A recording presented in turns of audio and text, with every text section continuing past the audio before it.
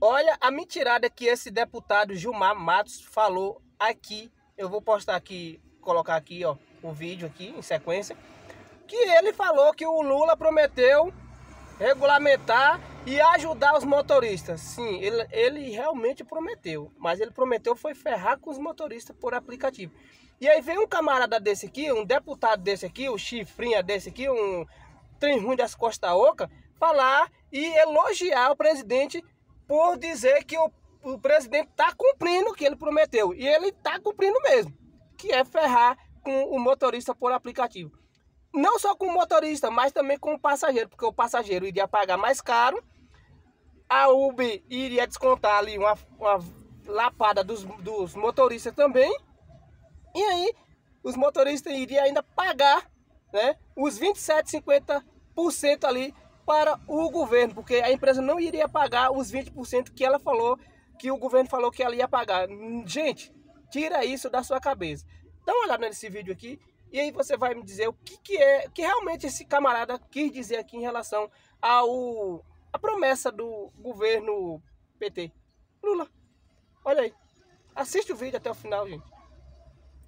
E deixa o seu comentário aí compartilhe nosso vídeo, ajuda aí o canal a crescer e a outros motoristas a entenderem que essa promessa do Lula era para ferrar com os motoristas por aplicativo.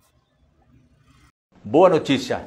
Os trabalhadores de aplicativos finalmente agora foram vistos e estão sendo atendidos, que inclusive foi um compromisso de campanha do presidente Lula.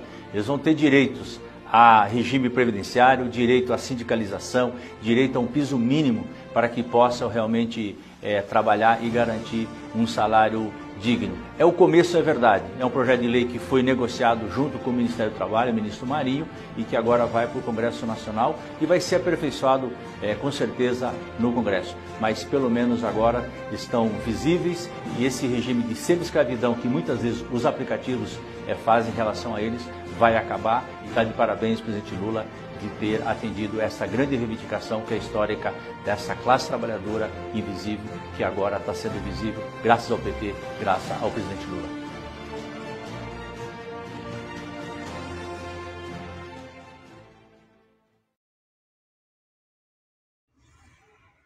E aí, vocês entenderam que esse camarada quis falar? Esse petista doente aí quis falar? Trem ruim das Costa Oca? Vocês entenderam que ele quis falar em relação ao presidente ter é, aprovado, é, querer aprovar esse projeto de urgência, né? Contra os motoristas por aplicativo, essa PL 12 de 2024? Espero que você tenha entendido. Já se inscreve no canal aí novamente. Não esqueça de deixar o like e compartilhar o vídeo.